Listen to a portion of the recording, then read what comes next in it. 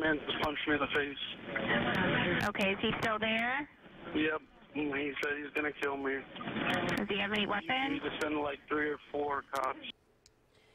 That is just a portion of the seven minute 911 call George Zimmerman made on Sunday. He told police he was at a bar when a man walked up and punched him in the face. And then, according to Zimmerman, the man threatened to shoot and kill him.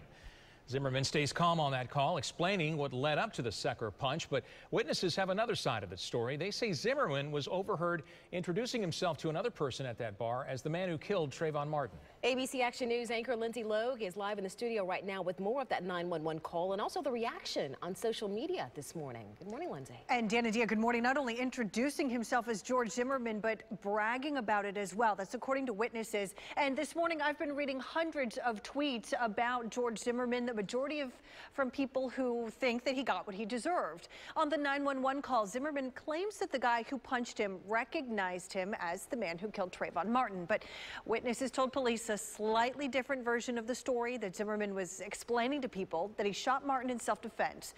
Witnesses also said Zimmerman was showing his ID, telling people in the bar his name and what he's known for. Can you just get away from him? I can try, but his friends are all around us. Do you know his name? Nope. Uh, has anybody been drinking? They have, obviously. What started the argument? He recognized me.